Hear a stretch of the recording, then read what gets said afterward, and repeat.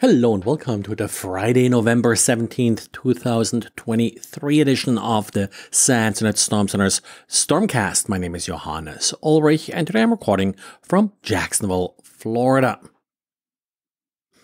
did a very brief diary today about TCP dump and, well, how to speed it up a little bit.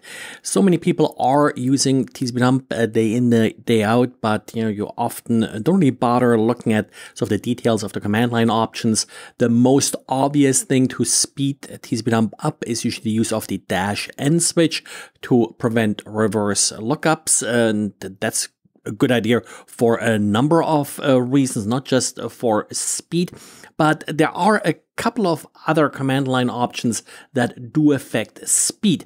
And the two that probably matter the most here is Q and T.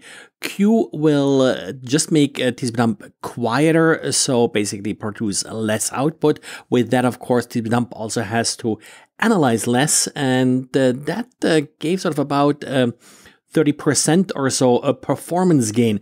The other option may not be that obvious. That's T. T disables display of the timestamp. And the timestamp should be pretty straightforward and uh, simple to analyze, uh, but also sort of gets you a 25 to 30% performance gain if you are turning off displaying the timestamp. And then, of course, best if you disable both timestamps and run it in quiet mode, which gets you about a 50% speed, speed improvement. Now, the quiet option is not always uh, appropriate because you really see a lot less details about the packet, uh, pretty much just sort of IP addresses and uh, maybe ports. So the T option, I think, is really something to keep in mind if you want to speed up things a little bit with TCP dump. Now, this was just a quick test on my M1 Mac. If you get different numbers, uh, please uh, let me know. Let me got a blog post by the Google Threat Analysis Group with details regarding exploits against a Zimbra zero-day vulnerability. Now, this hasn't happened recently. Google observed that in June. In July, the vulnerabilities were being patched. It's still interesting to see how, in this case, a cross-site scripting vulnerability was exploited. This was exploited against foreign governments, and there's always uh, the question why does a foreign government use an open source mail server like Zimbra for uh, their particular uh, email uh, service? Well, uh, comes back down to what choices you really have.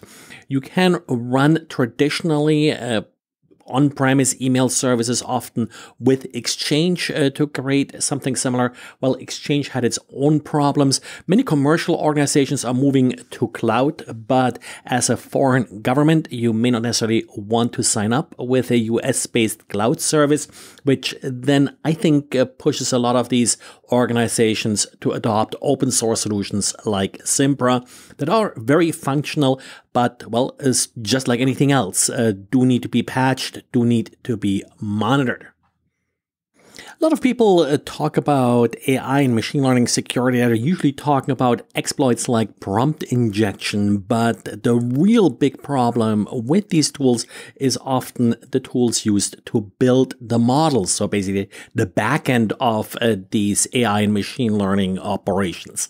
Protect AI, a company as the name implies, is in the AI security business, has now set up a GitHub repository that they call AI exploits. And what it is is essentially a collection of uh, exploits against these kind of backend systems that are commonly used for machine learning.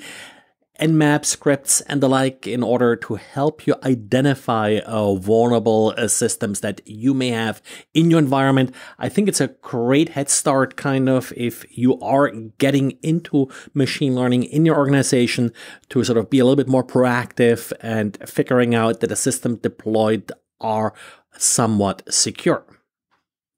And then there are two vulnerabilities that I want you to be aware of in particular, given that uh, in the US here next week will be sort of a big holiday week. Uh, first one is Fortinet. FortiSIEM suffers from an OS command injection vulnerability, luckily found internally uh, by a Fortinet, but it still needs to be patched. It's one of those uh, API vulnerabilities where an exposed API can be abused by an unauthenticated attacker to execute arbitrary commands. These issues tend to be very easy to exploit. Of course, no details yet about what the exact nature of the vulnerability is.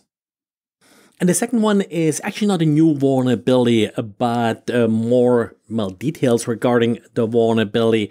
Crush FTP, uh, the vulnerability was patched back in August, but really wasn't sort of made a big deal about. Apparently, there are now some exploits being used in the wild, and uh, Converge Technology Solutions has published a blog with uh, details regarding this vulnerability and how to exploit it to gain remote code execution access to the Crush FTP server.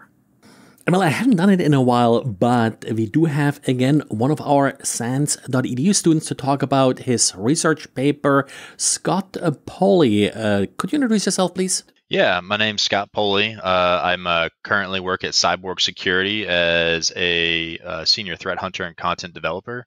Um, but my you know background has really been in, in most areas in security across the board. So I've uh, been in technical and leadership roles. So uh, all that experience kind of drove me towards the focus of the topic today with the paper I wrote. That paper, I, I love the title. We're storing less, discovering more. Something that you know close to my heart is a lot of organizations really store a ton of data they never look at, and that's mm. of course where a lot of the pain and the cost sort of comes from with the traditional SIEM deployments and things like that.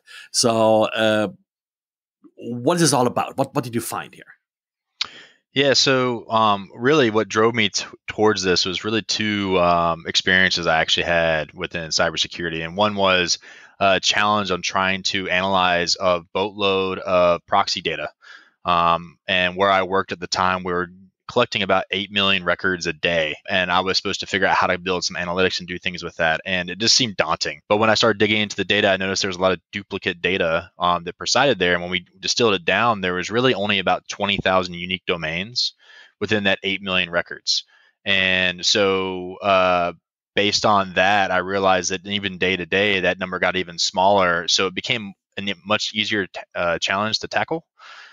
And then, you know, trying to look at different technologies to actually do analytics and understand relationships within data, I got I fell in love with Bloodhound very quickly. Um, you know, the Active Directory attack path mm-hmm. discovery tool, and one of the reasons why was how it presented its findings using graph databases. By doing so, it was very easy to understand really complex data.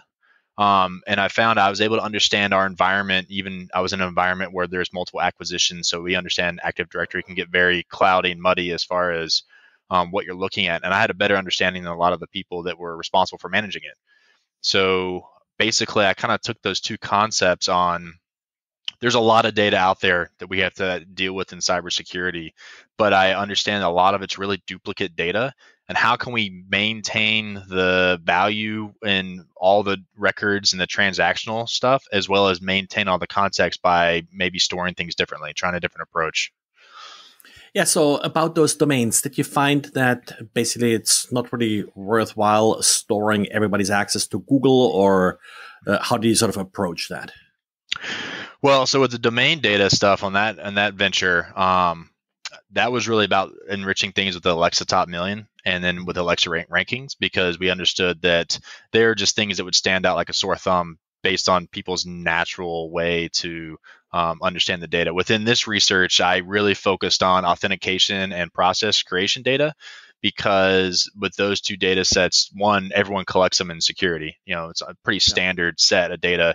And they're also very verbose and voluminous when it comes to the collection. Like there's a lot of data there to validate if this approach maybe might work um, with what I was trying to do. Yeah. So authentication was it like about authentication failures, or what? What was the value there of the data that you found, or what is what you? So what was interesting with authentication data was just the amount of data you can save and still maintain the what actually occurred. So with my approach, for instance, um, you know, I had about 46,466 uh, records with within the, my data sets for the research. And that got distilled down to about 598 nodes within Neo4j with the mm-hmm. duplicate duplicate data. So a, a much more manageable size. But what I kept in like the properties of the context of that, you know, I would record an authentication record based on the logon type as well as the username and maybe if they're using administrative tokens or not, you know, that data that's included in the record that's what I had in the graph database, but all the transactional data like the session IDs or the time um, stamp of the record went into a MySQL database. And so by using those together, I was able to maintain the context and the transactional data and store a lot less. Um, and um, so there's a lot of value just in that alone. And the graph database, did you find that that helps sort of also identify anomalies and such? As does that make that easier? Or? So with the graph database, what was really um, interesting and how I stored it was every time there was an occurrence in the data, those relationships between nodes, I'd add, basically increase a weight. And by increasing the weight, you can determine what was more normal or common based on behaviors and what was more rare. And so just with that increase in weight and then being able to run analytics to say, hey, give me where we have rare executions or where authentic rare authentications with certain users things would stand out. And then I was able to then basically do a couple additional queries to say, well, give me the session for that weird event. And then I would be able to visually see the story and the context that typically I feel like in security, we're always trying to stitch together, anyways. Um, but it was very clear and easy to just present it all at once, which I thought had a lot of value as well.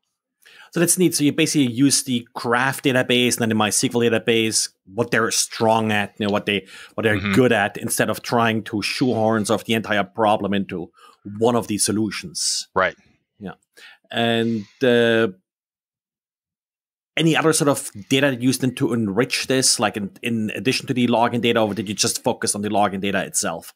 Uh, so yeah, I had the process data, so you can kind of see from start to finish what mm-hmm. users were executing what within the environment, and then also what processes were related to each other um, for rare executions and things like that.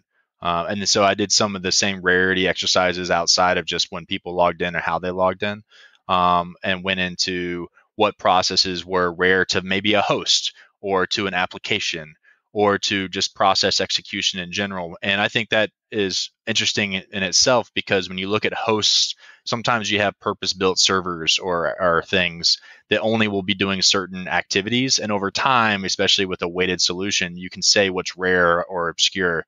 Um, and same thing with applications. One of the things I know with looking at vulnerabilities, a lot of times when something's exploited, the behavior of that whole application changes. And this is an easy way, I think, to identify that as well, potentially catching zero days or where people are trying to take advantage of applications. That's that's pretty a neat uh, idea. Actually, I was just thinking that you know uh, patch levels and such. If you're looking mm. like at library relationships, that may be different. You sort of have one system that sticks out from all the others because you forgot to patch that. That would be sort of a nice extension of that. Uh, any plans with that? Any further research or so that you think about doing here?